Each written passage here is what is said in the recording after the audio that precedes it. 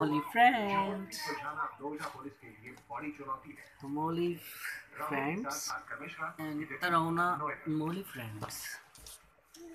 UP से जो दूसरी दिल दहला देने वाली खबर सामने आई है वो भी कई सवाल उठाने में होते हैं